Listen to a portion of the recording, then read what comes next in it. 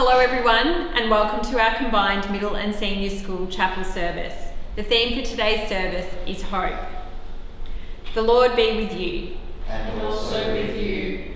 In our scripture sentence today, the Apostle Paul tells us, let love be genuine, hate what is evil, hold fast to what is good, love one another, rejoice in hope, be patient in suffering, and persevere in prayer contribute to the needs of the saints, and extend hospitality to strangers.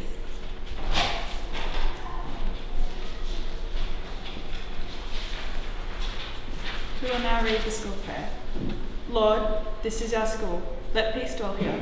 Let the rooms be full of contentment. Let love abide here. Love of one another, love of humankind, love of life itself, and love of God. May we always remember that as many hands make a house, so many hearts make a school. Thank you.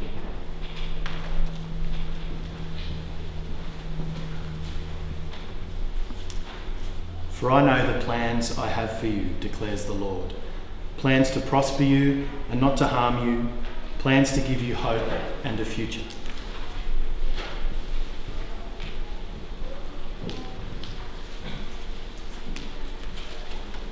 The second reading is from Paul's letter to the Romans.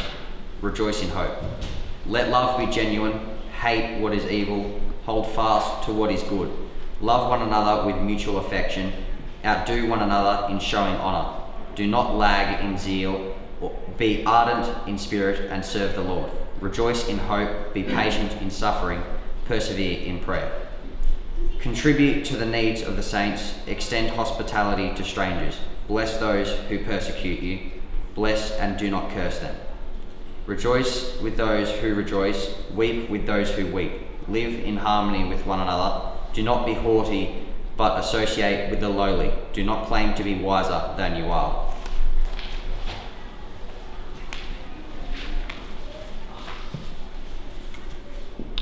Do not repay anyone evil for evil, but take thought for what is noble in the sight of all.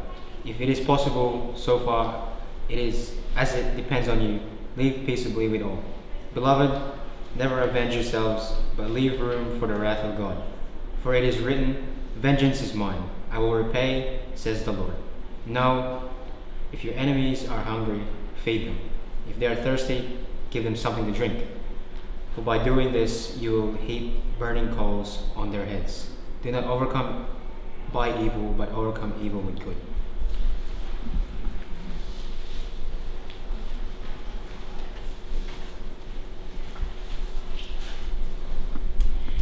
In today's reflection, I'd like to share a story with you. It's a story called The Four Candles. The author of this story is actually unknown. Four candles burned slowly. Their ambience was so soft you could hear them speak. The first candle said, I am peace, but these days the world is full of anger and fighting. Nobody wants to keep me alight. The flame of peace went out. The second candle said, I am faith. I am no longer indispensable, so it doesn't make sense that I stay alight another moment. Faith's flame slowly diminished and went out completely. Sadly, the third candle spoke. I am love. People don't understand my importance, so they simply put me aside. They even forget to love those nearest to them I haven't the strength to stay alight. And waiting no longer, love's flame went out. Suddenly, a child entered the room and saw that the three candles were no longer burning. The child began to cry. Why are you not burning? You are supposed to stay alight forever. Then the fourth candle spoke gently to the child. Don't be afraid, for I am hope and while I still burn, we can relight the other candles. With shining eyes, the child took the candle of hope and lit the other three candles. This story reminds us how important it is to have hope. Sometimes this can be really hard, particularly when the world can seem so hopeless. It feels like we are consistently hearing news of doom and gloom. The many hardships created by COVID, the conflict that exists in many parts of the world, and the discrimination and violence towards the vulnerable and less fortunate. It can be difficult to see how there can be any hope for a bright future. The, underli- the underlying message of our story is that there is hope hope as individuals, as communities, and as a world.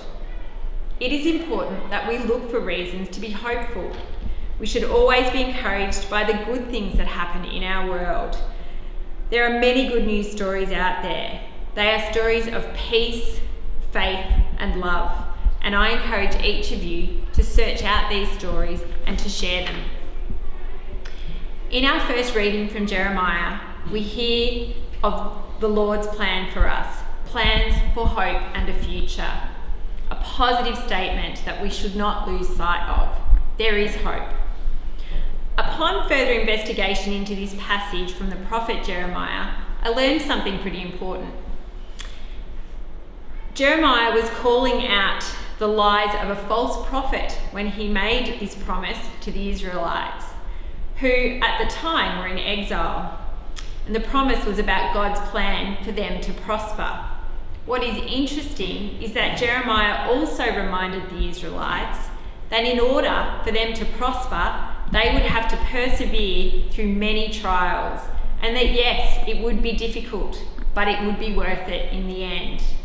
And for the Israelites, that end was freedom from exile. The second reading from Paul's letter to the Romans talks about rejoicing in hope.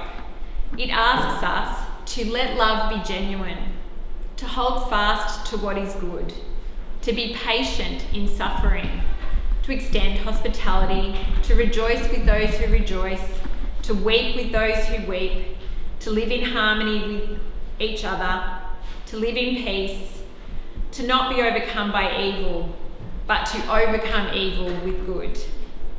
This passage is a great reminder how, even in times of hopelessness, our actions can be powerful, positive messages of hope.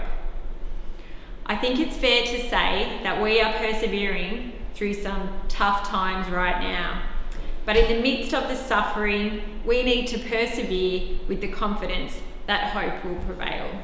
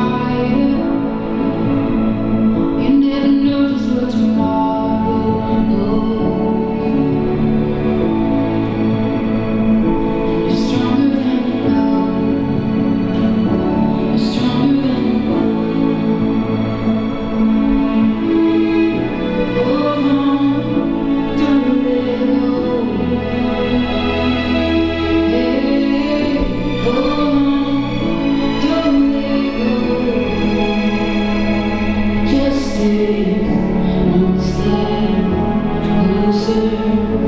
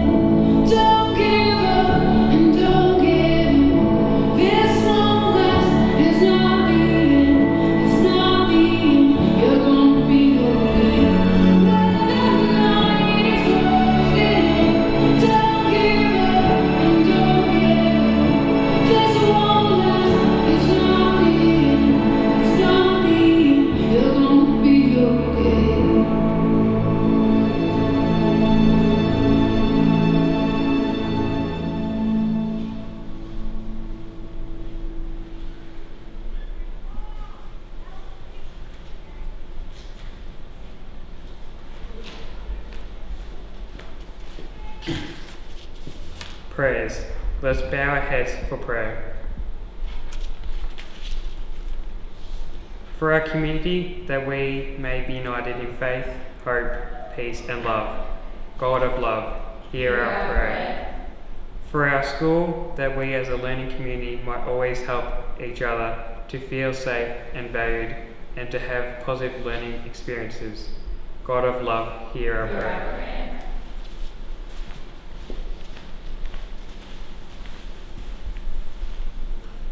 For all those students who feel overwhelmed by all that is being required of them, in particular our Year 12s, as they prepare for all for their exams, may they perceive with hope, direct them to use their time and talent wisely. God of love, hear our prayer. For our teachers, that they might always feel refreshed and prepared as they strive to teach us everything that we know. God of love, hear our prayer.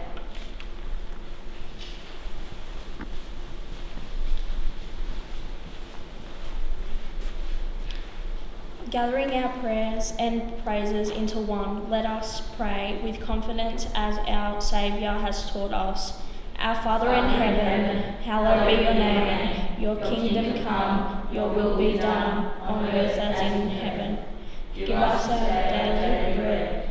Forgive those who sin against us, we forgive those who sin against us. Save us from time of trial, and deliver us from evil. For the kingdom, the power, and glory are yours, now and forever. Amen.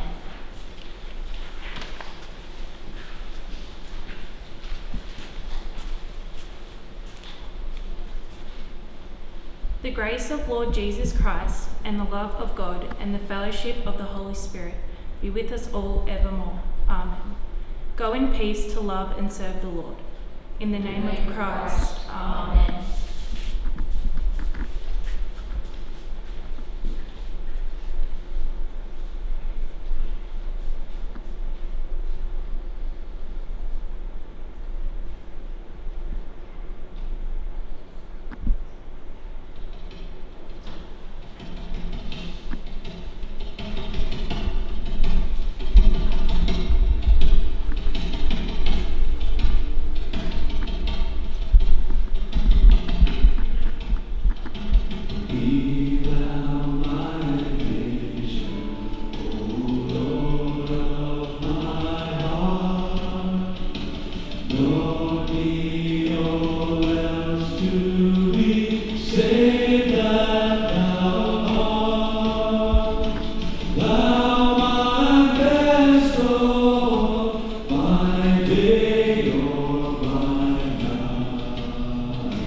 Waking or sleeping, I thy